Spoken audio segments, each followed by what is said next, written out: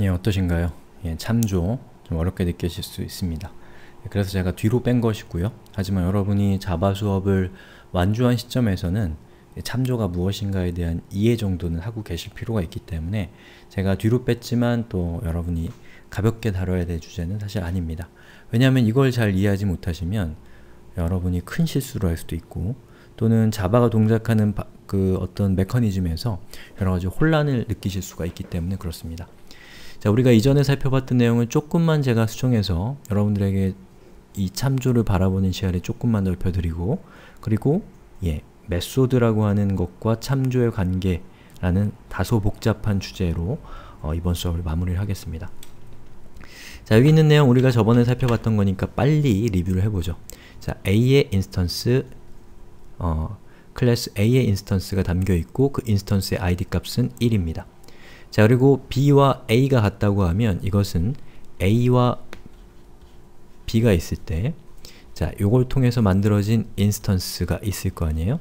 그 instance는 둘 다 얘를 참조하고 있기 때문에 여러분이 B.id 2를 통해서 바로 얘를 통해서 id 값을 2로 바꾼다는 것은 곧 얘의 값이 얘의 id 값이 2가 바뀐다는 것이고 그렇기 때문에 여러분이 이것을 통해서 a.id를 한다는 것은 곧 이걸 한다는 것은 곧 i의 자 인스턴스의 id 값을 가져오는 것이기 때문에 얘는 2가 된다라는 것 이제 기억나시죠?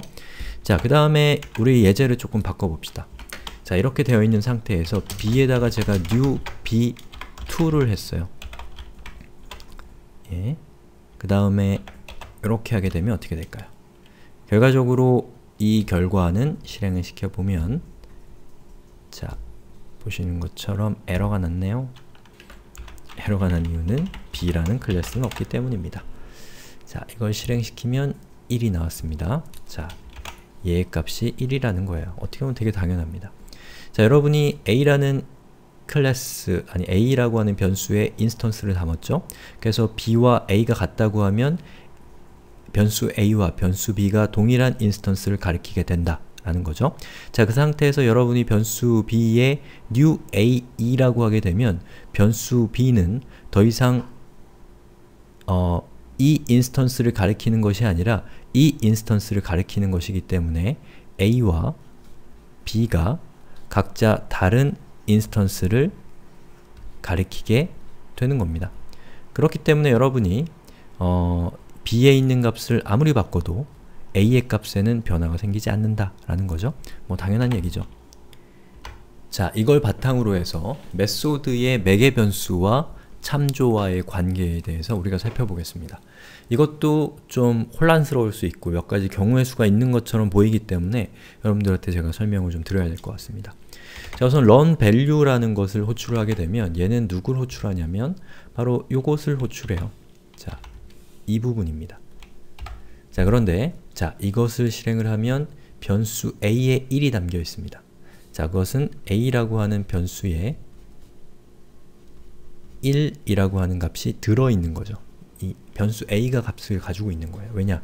기본 데이터 타입이기 때문에 그 다음에 언더바 value라는 이 method를 호출했는데 이 method의 어, 매개 변수는 b입니다. 자, 이것은 무슨 뜻과 같냐면 자, 이 a가 b로 들어간 거니까 이것은 int b는 a다 라는 것과 같은 거예요. 우리 이전에 살펴봤던 것과 같죠? 자, 그 상태에서 여러분이 변수 b의 값을 2로 바꾸면 이것이 변수 b의 값을 바꾼 것이 b와 연결 되어 있는 instance인 a의 값을 2로 바꾼 것이냐 라는 건데 실행해보면 1이죠. 당연하죠. 예, 이건 기본 데이터 타입이기 때문에 얘를 여러분이 어떻게 바꾸건 A에 대한 부분은 바뀌지 않는다. 그리고 이 얘기를 하는 부분의 핵심은 이 부분이죠. 예. 자, 그 다음에 run reference 1과 run reference 2라고 하는 것을 호출하고 있는데요. 이 두 가지가 각각 다른 경우를 대표하기 때문에 그렇습니다. 자, 우선 run reference 1을 살펴보면 자, 이렇게 생긴 이 부분이 바로 그것입니다. 자, 그래서 여러분이 a라고 하는 변수의 instance를 담았습니다. 자, 변수 a의 인스턴스를 여러분이 담았는데 이것은 기본 데이터 타입이 아니기 때문에 참조의 관계죠. 그리고 id 값은 1인 상태예요. 자, 오늘 run reference 1이라고 하는 method를 호출했고 이 method의 매개 변수는 b입니다. 그리고 여러분은 인자로 a를 줬어요. 이 얘기는 뭐냐? class a의 instance b 아니 데이터 타입 a의 변수 b는 a이다 라는 뜻인 것 그리고 그 밑에서 이게 실행이 되면 b는 new a 2를 줬습니다. 자, 그건 무슨 뜻인가요? 그것은 변수 b가 만들어졌는데 아이고 갑, 자 변수 b가 만들어졌는데 이 변수 b는 새로운 instance인 바로 이것 있죠? 자 이것인 instance id 값은 2인 변수를 참조하고 있는 거예요. 그렇기 때문에 오리지널이라고 해야 될까요? 아니면 연결되어 있다고 할까요? 어, b의 값이 바뀌었다고 해도 이 b가 참조하고 있는 것은 이것이기 때문에 자 a가 갖고 있는 a가 참조하고 있는 이것에 변화를 주지 않기 때문에 이것을 실행한 결과는 예, 1이 됩니다. 아시겠죠? 자 그런데 reference 2를 실행을 시키면 코드가 어떻게 다르냐면 이 부분은 같습니다. a의 instance를 담았고 그것을 인자로 전달했을 때 run reference 2를 실행을 하면 자, 이 부분이 나와요. 자, 이것은 무슨 뜻이죠? a, b는 a이다 라는 뜻이에요. 여기까지는 같습니다. 그런데 이 부분에서 b.id는 2라고 이렇게 하고 있잖아요.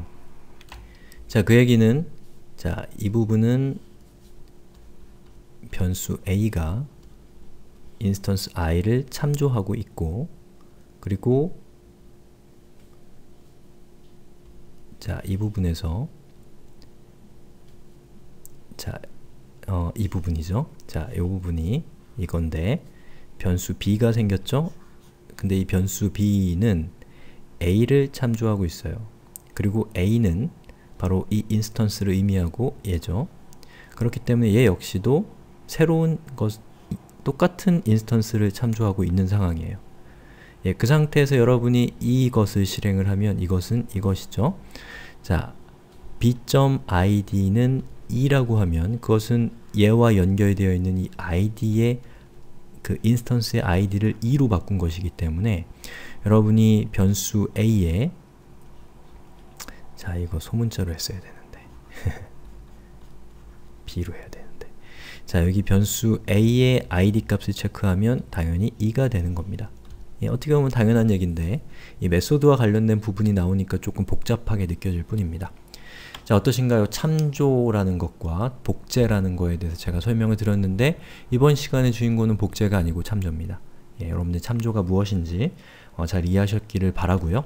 그리고 제가 여기 코드와 오픈소스라는 것을 이렇게 링크를 걸어놨는데요. 자 여기 있는 이 내용으로 들어가 보시면 이 제가 만든 뭐 오리엔테이션 자료가 있습니다. 이거는 프로그래밍이라기보다는 아주 일반적인 얘기예요. 그래서 이 코드에서 사용하고 있는 복제라는 것, 또 참조라고 하는 것이 어떻게 우리 삶에 큰 영향을 끼치고 있는가 라는 거에 대한 그냥 뭐 어, 저의 지극히 사적인 견해를 담은 PT이기 때문에 보셔도 되고 안 보셔도 됩니다. 심심하시면 보시고 심심하지 않고 빨리 나가야 되면 안 봐도 돼요. 예, 참고삼아 링크를 걸어놨으니까요. 한번 보시면 우리가 프로그래밍을 하는 이유, 또 프로그래밍을 통해서 우리가 세상을 바라보는 시가, 시야가 조금 넓어질 수 있는 측면에 대해서 제 나름대로 여러분들께 소개해드리는 글이니까요. 예, 한번 참고하시면 좋을 것 같습니다. 자, 이렇게 해서 좀 어렵게 느껴질 수 있는 참조에 대한 내용을 마치겠습니다. 고생하셨습니다.